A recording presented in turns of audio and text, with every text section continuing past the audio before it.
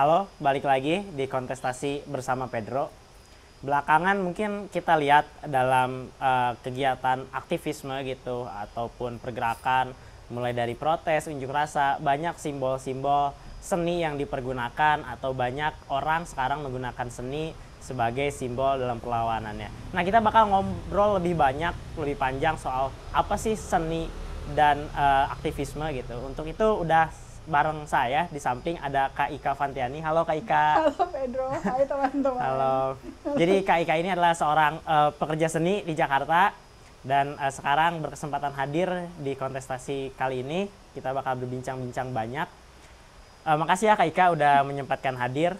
Mungkin mulai dari pertanyaan yang paling dasar ya atau paling awal sih. Kalau menurut Kak Ika sendiri yang mungkin bekerja dalam uh, dua irisan bidang itu seni dan aktivisme juga kalau menurut Kak Ika sendiri sebenarnya apa sih seni dan aktivisme itu mungkin uh, uh, saya akan coba jawabnya hmm. bahkan mundur lagi sih sebenarnya okay. karena menurut saya sendiri keduanya maksudnya seni dan aktivisme itu kalau menurut saya sendiri itu dia adalah sesuatu yang kita lakukan setiap hari okay. sebenarnya kayak sadar nggak sadar gitu hmm. gitu ya atau bahkan kita mau klaim atau nggak klaim nih kita seniman atau aktivis gitu ya tapi sebenarnya keduanya itu adalah sesuatu yang kalau menurut saya sendiri kita sebenarnya melakukan setiap hari dalam konteks apa pun dalam skala apa pun hmm. gitu jadi kalau ditanya kemudian apa sih gitu ya yang misalnya membuat uh, seni sama aktivisme tuh dekat gitu misalnya atau mudah sekali hmm. sebenarnya hmm. untuk digabungkan gitu karena kalau dari saya sendiri pengalaman saya gitu misalnya termasuk karena saya perempuan gitu ya. Misalnya saya ngerasain banget nih misalnya bagaimana misalnya sulitnya saya bicara atau mengutarakan pendapat gitu kan karena saya perempuan nih gitu. Okay. itu aja menurut saya kan adalah sebuah upaya advokasi diri sendiri Betul. untuk bisa bersuara uh, dan berhenti didiskriminasi karena jenis kelamin saya gitu misalnya. Nah itu kan sebenarnya sesuatu yang menurut saya tanpa saya, saya harus jadi seniman atau aktivis adalah sesuatu yang saya lakukan setiap hari. Benar nggak? Nah cara saya kemudian berkomunikasi, mengkomunikasikan pesan-pesan yang saya pengen kasih tahu ke orang gitu ya, termasuk ke perempuan lainnya hmm. misalnya, hal-hal itu kan yang kemudian kadang-kadang bentuknya itu harus kreatif, okay. ya kan, harus apa ya beda mungkin termasuk harus aman supaya nggak kena persekusi atau nggak kena sensor gitu-gitu ya. Nah, jadi kalau menurut saya sendiri memang kalau dari perspektif saya dan pengalaman saya sendiri dua hal itu emang dekat sih Pedro gitu, hmm. seni dan aktivisme. Apalagi kalau kita bicara dalam konteks personal gitu okay. ya, karena ya udah personal is political gitu. Tapi juga kalau kita bicara sendiri mungkin juga gerakannya gitu ya. Hmm. Terus juga uh, apa sih yang sudah dilakukan gitu misalnya atau uh, gerakan-gerakan hmm. termasuk kayak uh, breakthrough atau apa sih eh, hal-hal uh, yang sudah dilakukan oleh senian itu sendiri atau seni itu sendiri Indonesia misalnya terus dalam hal upaya mengadvokasi atau menjadi bagian dari aktivisme di Indonesia menurut saya banyak banget bener dong bahkan dari zaman okay. dulu juga udah banyak banget gitu kan dari mulai karya-karya lukis dari mulai eh, lagu-lagu uh, gitu ya tapi juga mungkin yang menarik kalau kita bicara hari ini mungkin hmm. ya karena mungkin banyak orang kemudian melihat atau saat yang sama saya juga setuju bahwa seni sendiri di Indonesia itu kan masih dilihat sebagai sesuatu yang nggak penting-penting banget lah hmm. gitu. Ya kalau ada bagus yang nggak ada juga nggak apa-apa aku nggak mati. Gitu. Tapi kemudian yang menariknya juga adalah menurut saya sendiri seni itu sebagai adalah sesuatu yang setiap hari sebenarnya ada di kehidupan kita. Setiap hari kita menjadi bagian dari jari seni itu sendiri dan kemudian aktivisme kayak saya selalu merasa bahwa misalnya term human rights defender hmm. itu adalah sesuatu yang sebenarnya semua orang mestinya human rights defender. Oke. Okay. Kenapa? Karena human rights hmm. hak asasi manusia itu kan adalah hak semua orang. Hmm. Kesadaran itu sebenarnya yang kita nggak ada dan tidak merata gitu bahwa hmm. kita semua adalah uh, mestinya menghormati uh, hak asasi masing-masing. Hmm. Saya selalu pernah bilang juga bahwa um, narasi hak asasi manusia di Indonesia hmm. menurut saya sayangnya masih hanya uh, tampaknya didengungkan oleh sekelompok orang itu itu aja gitu. Hmm. Di luar itu okay. seolah-olah kita nggak bisa ngomong hak asasi manusia, nggak boleh ngomong ham, gitu ya. Padahal itu tadi kalau memang ham itulah milik semua orang dan semua hak semua orang, kenapa nggak semua orang hmm. bicara mengenai ham? Kenapa narasi itu kemudian menjadi seolah-olah membutuhkan kayak validasi gitu ya? Oh kalau misalnya uh, kamu uh, aktivis ya boleh ngomongin ham kalau kamu polisi ya boleh ngomongin ham kalau kamu orang pemerintahan boleh ngomongin ham tapi kalau orang biasa-biasa ya nggak boleh dong gitu hmm. itu menarik nah okay. menurut aku adalah kemudian yang menarik bagaimana seni mendobrak hal-hal itu gitu hmm. bagaimana kemudian seni membuat semua orang boleh kok bicara ham dan semua orang juga boleh kok melihat ham itu sebagai sesuatu yang positif, hmm. empowering, uh, menyenangkan, bukan hanya diomongin kalau ada terjadi kekerasan, hmm. Harus ada yang ditangkap hmm. gitu baru kita ngomongin ham. Itu aja udah aneh banget nggak sih sebenarnya? Yeah. Padahal kan sebenarnya mau ditangkap nggak ditangkap ya hak asasi yeah. manusia tetap ada ada kan gitu. Nah jadi aku juga dari awal merasa bahwa iya ini menarik juga ya bagaimana narasi-narasi ham ini memang narasinya sendiri harus di, dirubah gitu ya okay. supaya publik juga bisa lihat bahwa eh lu boleh loh ngomongin ham gitu dan nggak harus ngomongin dalam konteks sakit okay. negatif gitu serem hmm. kayak gitu-gitu sih. Kelihatan nggak ininya? Iya iya iya. Oke oke.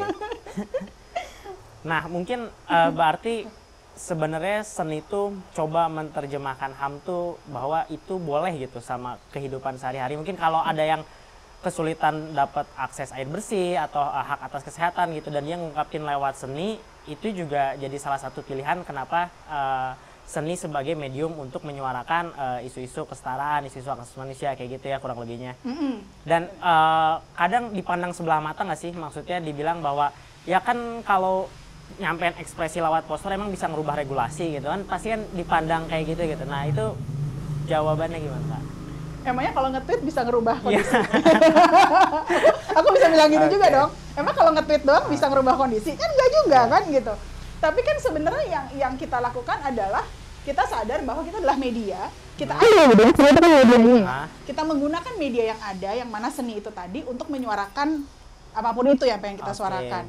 Mengadvokasi gitu ya misalnya tentang uh, karena misalnya satu contoh aku terus terang nggak terlalu apa ya aku coba ambil contoh misalnya uh, banyak sekali karya seni hmm. Indonesia gitu ya di luar sana yang memang tujuan untuk mengadvokasi gitu hmm. kan uh, tapi kemudian bentuk advokasi gimana nih misalnya okay. gitu oh ada yang misalnya sekelompok uh, teman-teman ko uh, komunitas uh, kalau nggak salah di Ambon gitu ya mereka bikin pameran foto gitu hmm. misalnya mereka bikin pameran foto di bagian-bagian kota di sana gitu ya untuk uh, bicara kepada anak muda hari hmm. ini bahwa konflik yang pernah terjadi di sana, perpecahan segala macam itu adalah masa lalu, okay. tapi bukan harus dilupakan. Tapi bagaimana kemudian untuk pelan-pelan membuat percakapan yang menarik, bener nggak sih? Membuat percakapannya mungkin yang lebih dekat sama teman-teman anak muda hari ini gitu. Hmm. Oh, bikin misalnya spot-spot yang bisa buat selfie gitu misalnya. Okay. Bener dong, maksudnya yeah. itu kan nggak salah. Maksudnya itu kan cuman sebenarnya kita mau ngomong mengenai sebuah kasus kekerasan hmm. masa lalu, tapi caranya yang kita lakukan adalah sesuatu yang kita lakukan hari ini.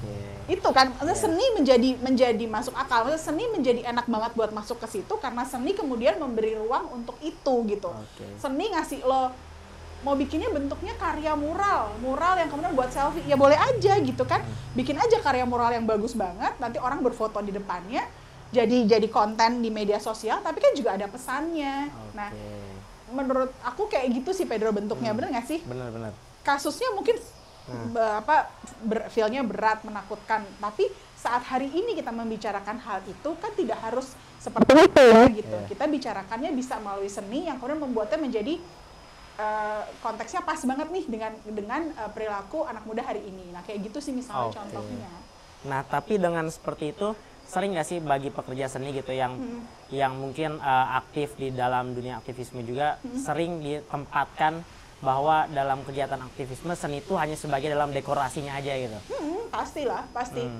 Karena menurut aku juga itu tadi balik lagi ke mungkin uh, referensi dan kesadaran itu sendiri ya, okay. bahwa uh, saat misalnya sebuah gerakan menggunakan seni gitu hmm. gitu ya, itu kan sebenarnya uh, caranya macam-macam. Hmm. Tapi kemudian pertanyaannya misalnya apakah si aktivisnya itu sendiri atau teman-teman di di gerakan aktivisnya itu sendiri memiliki referensi bentuk-bentuk bagaimana seni okay. uh, eh, bisa digunakan untuk mengadvokasi tapi dalam bentuk-bentuk mungkin yang misalnya lebih baru gitu, lebih hari hmm. ini gitu, ya nggak sih? Oh. Misal bikin NFT gitu ya misalnya yeah, yeah. Pedro, NFT kan hari ini banget. Hmm.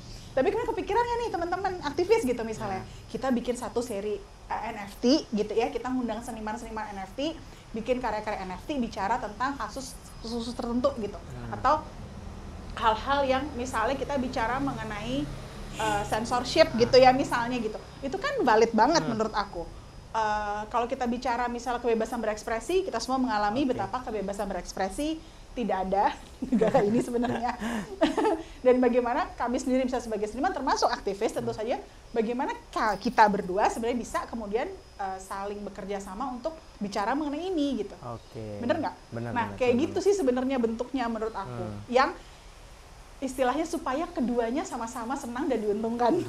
Jadi bukan cuman kayak eh lo main dong di acara gue, gue mau bikin acara ini. Jadi bukan cuman hanya sekedar kayak gitu kan. Jadi nah, cuman yeah. kayak pelengkap pokoknya ada musik atau ada seni gitu. Yeah. Tapi juga bagaimana keterlibatan senimannya itu sendiri juga dibuat yang lebih uh, porsinya dia dan dia sebagai aktornya juga sama sebenarnya harusnya sama sih aktivis atau sama organisasi aktivisnya ini gitu ya hmm. nggak sih Pedro supaya ya itu tadi tidak ada pihak yang merasa porsi lebih besar atau kayak hmm. subjek dan objek gitu sih. Oke.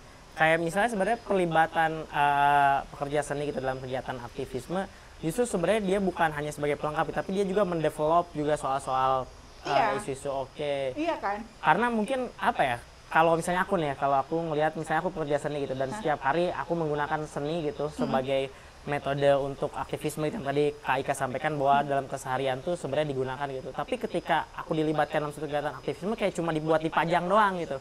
Malah kita menggunakan itu sehari-hari gitu kan. Hmm. Jadi porsinya itu uh, kadangkala memang uh, gak setara gitu ya. Benar. Oke. Okay. Karena mungkin ya harus itu tadi juga mungkin ya artinya dua-duanya sama-sama harus belajar nggak sih Pedro? Yeah. Maksudnya senimannya juga dan teman aktivisnya juga sama-sama belajar. Maksudnya sama-sama berupaya gimana cara supaya kita bisa bekerja dengan porsi yang sama, sama-sama di challenge atau ditantang untuk uh, bikin karya bareng, hmm. bener dong. Jadi bikin karya bareng kan jadinya ya Pedro. Kita bikin kolaborasi karya bareng ya, hmm. bukan kayak aku bikin acara, kamu aku bayar, kamu aku ambil untuk main di acara aku. Bukan okay. begitu. Yang kemudian harus di challenge adalah bentuk kerjanya, bener nggak sih? Hmm. Kerja-kerja seniman kan sebenarnya juga banyak banget kan ya mirip-mirip sama itu juga. Kita kami melakukan riset ya nggak sih? Hmm kami kemudian juga uh, apa namanya melakukan kerja-kerja yang kurang lebih menurut aku mirip dan kemudian hasil akhirnya kemudian biasanya beda kan okay. kalau misalnya teman-teman aktivis misalnya hasil karyanya misalnya bikin jurnal gitu ya bikin buku gitu nah kami mungkin misalnya seniman oh hasil karya bisa jadi sebuah karya audiovisual hmm. gitu tapi kan proses risetnya bisa sama okay. ya nggak sih uh, obrolan perspektif bikin karyanya bisa sama walaupun kemudian akhir karyanya berbeda nah itu sih seperti itu Nah mungkin ada nggak kak? Uh, mungkin bisa sharing-sharing juga. Hmm. Uh, apakah di uh, apa namanya uh, dunia gitu di luar, di luar negeri ataupun uh, di zaman-zaman sebelumnya, jadi ada satu bentuk karya seni yang itu uh, bisa mengadvokasi atau akhirnya berdampak besar gitu terhadap perjuangan misalnya hak asasi manusia atau perjuangan gender gitu. Banyak banget sih sebenarnya sebentar ya aku lagi. Hmm. Aku sedang bercoba memikir, nah, berpikir okay tapi kemudian yang muncul di kepala aku karya aku sendiri tapi aku tidak mau menceritakan mengenai karya aku sendiri. Aku sudah nah, itu nggak apa-apa boleh mungkin sharing juga soal pengalamannya gitu. Ternyata berdampaknya sejauh ini gitu. Oh, uh, bener nggak apa-apa? Oke. Okay.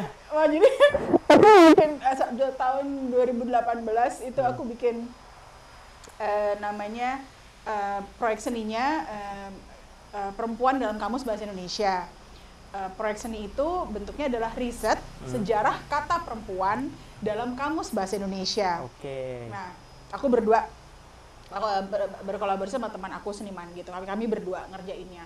Jadi kami riset ngumpulin semua kamus-kamus gitu hmm. ya, kamus-kamus dari dari kamus cetak pertama yang ada di Indonesia sampai kamus besar bahasa Indonesia. Terus kami coba runut nih, apa sih perubahannya gitu, apa okay. sih bedanya gitu kata perempuan yang ada di misalnya kamus cetak bahasa Indonesia pertama yang hmm. diterbitkan gitu ya tahun itu kalau nggak salah kalau nggak salah tahun 1956 sampai yang uh, edisi kemudian KBBI gitu ya hmm. KBBI mulai edisi pertama sampai terakhir. Nah kami menemukan bahwa kenapa ya cara cara cara KBBI ini me, menjelaskan kata perempuan di dalamnya itu hanya bicara dan berkisar tentang genitalianya perempuan aja gitu. Okay. Kenapa menempatkan perempuan sebagai bini kan ada ya bini gitu. Jadi sebagai bagian dari produksi. Terus dia perannya sebagai istri gitu ya. Terus juga banyak sekali kata-kata yang konotasinya seksual, hmm. uh, pelacur, uh, apa namanya perempuan lecah, perempuan geladak, eh, perempuan jalang, perempuan jalanan, perempuan jahat. Jadi nah, aku kami merasa itu aneh banget gitu. 30 tahun KBBI dari edisi pertama sampai edisi terakhir yang diterbitkan oleh eh, Dikbud, kenapa seperti ini? Karena kami merasa nggak mungkin dong selama 30 tahun masa kita di Indonesia ngomongin perempuan kayak Iya. gitu Pedro nggak mungkin dong Iya. kita juga tahu sekarang setiap hari aja kosakata kita dalam bicara dalam konteks perempuan aja ganti-ganti tiap berapa bulan bener nggak sih? Iya, iya. akibat pergaulan media sosial atau misalnya istilah-istilah yang semuanya tentang perempuan sebenarnya tapi beda-beda konotasinya. Nah dari situ kemudian kami pameran eh, kami eh, kami bikin pameran kami kasih lihat eh, ini loh yang di KBBI kata perempuan dari edisi pertama sampai terakhir dan kami juga kasih lihat temuan-temuan di ka- kamus-kamus cetak itu.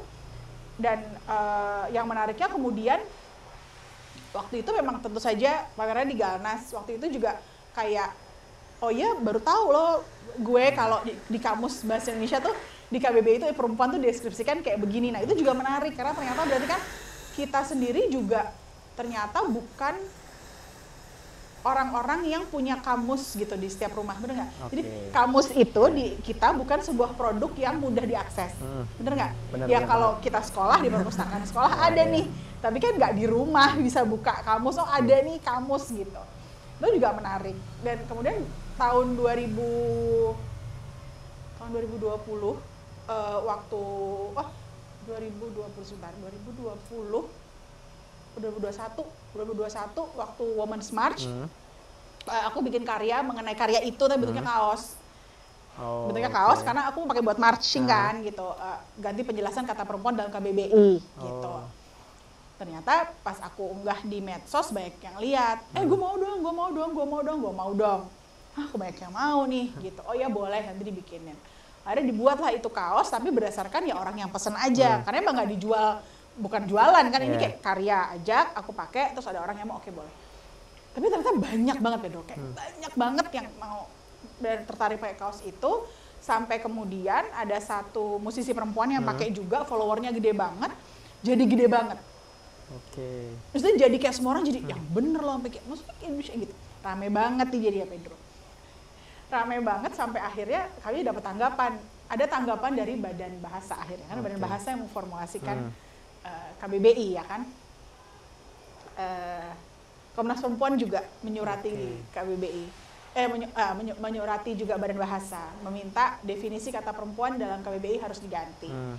Eh, fraksi tiga nggak usah DPR juga eh, minta diganti juga itu menarik maksudnya waktu kami bikin karya ini kan kami juga tidak berpikir bahwa akan seperti itu ya itu ya. eh, dan sampai orang jadi tahu gitu ini Hmm. loh faktanya bagaimana kata perempuan di dalam KBBI dan kamus kita tuh seperti ini Oke. gitu Terus yang menarik setelah itu ada banyak eh, seminar gitu ya Ah. diskusi dan saya juga ikutan ada diundang di beberapa eh, seminar juga Hmm. ngobrolin eh, ini kenapa bisa gini ya gitu dari berbagai macam eh, apa ya profesi gitu misalnya oh ini ada nih eh, dari sekumpulan organisasi eh, pengacara perempuan gitu ya Oke. terus juga teman-teman dari kuliah di Padang kalau nggak salah eh, kak boleh nggak kita ngobrolin mengenai hal ini boleh terus sampai akhirnya eh, kamus besar bahasa Indonesia itu kan setelah tahun 2015 tuh ada edisi online, Hmm. ada edisi cetak. Iya.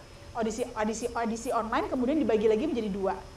Eh, KBBI KBBI dan eh, aplikasi KBBI jadi Hmm. dua.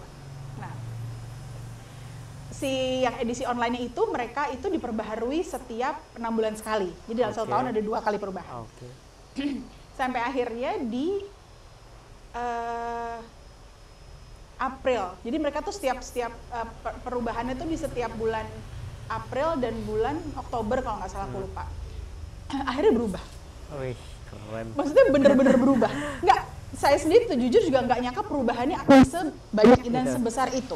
Oh. Contohnya misalnya ada kata puan Hmm. di dalam definisinya. Kata puan ini menjadi penting karena membuat teman-teman transpuan merasa mereka menjadi bagian dari definisi itu. Oke. Bener kan? Iya, Karena iya. sebelumnya kan mungkin kita hanya bicara sama definisikan perempuannya untuk hanya perempuan uh, cisat aja gitu ya. Tapi teman-teman transpuan udah merasa karena ada kata puan, oh ini kayak kami juga berarti bisa jadi termasuk di situ Hmm. dong gitu.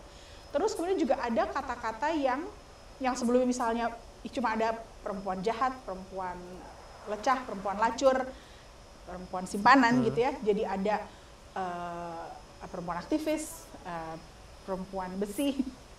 Terus, Oke.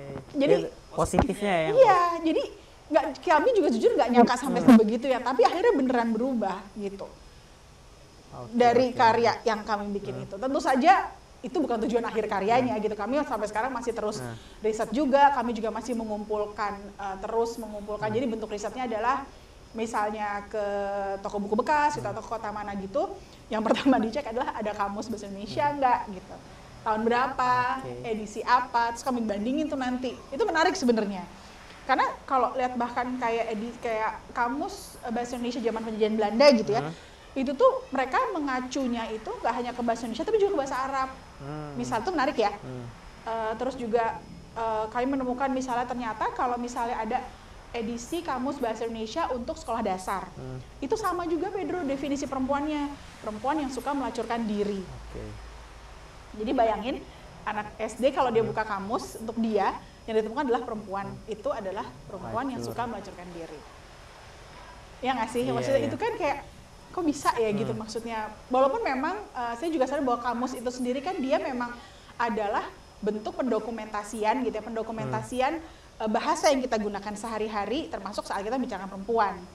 Tapi kalau menurut eh, saya juga bahwa eh, Badan Bahasa sebagai yang membuat Hmm. KBBI, ya dia juga punya kuasa dong artinya untuk sebenarnya me- apa namanya untuk kemudian terlibat dalam pembuatan eh, atau isi kamus yang lebih faktual. Bener dong, kan nggak mungkin 30 tahun masuk perempuan lacur, perempuan lecah, perempuan simpanan gitu kan. Nah, itu sih sebenarnya kalahnya. Tapi di luar dari itu banyak juga eh, teman-teman eh, seniman lainnya yang membuat berbagai macam karya dan gerakan yang sifatnya kemudian eh, merubah eh, kebijakan gitu misalnya. Termasuk teman-teman yang di Holaback yang mereka kemudian mengupayakan eh, adanya sekarang kalau kita naik kereta misalnya kan ada tuh sekarang kalau di kereta eh, laporkan pelecehan seksual. Iya. Nah itu kerja teman-teman dari Holaback namanya. Menurut aku itu juga luar biasa karena kan sebelumnya nggak ada ya. Ada soalnya kita sebagai eh, eh, apa yang naik kereta api dia merasa aman sekali karena tiba-tiba sekali itu dibikin suatu hal yang penting gitu ya dan dikasih tahu ke semua orang. Nah di luar itu ada banyak banget sih konteksnya. Ada yang misalnya bekerja bersama para petani perempuan misalnya. Ada juga yang sifatnya adalah membuat eh, apa namanya mengangkat isu-isu yang mungkin selama ini kita nggak terlalu aware gitu bahwa Oke. ada isu itu atau ada masalah itu. Jadi kalau saya sendiri sebenarnya merasa dari skena seninya sendiri, dari seniman-senimannya sebenarnya banyak banget sih Pedro yang bicara mengenai isu ya eh, dalam keseharian kita mau yang sifatnya misal skala besar sampai kecil di kehidupan mereka sehari-hari gitu. Tapi mungkin memang tentu saja lagi kan akses publiknya ya Pedro terhadap karyanya gitu. Mungkin aja kan nggak ada ya jadi nggak tahu gitu. Oh ada ya karya ini gitu. Jadi sebenarnya kalau kita bicara karya-karya seninya sih menurut aku banyak banget sih udah gitu ya. Tapi memang itu tadi yang menarik. Ngobrol nggak nih? Maksudnya ngobrol tuh diobrolin nggak? Ketemu nggak nih sama skena aktivisnya juga? Atau misalnya publik sendiri tahu nggak bahwa ada karya ini? Kayak gitu-gitu sih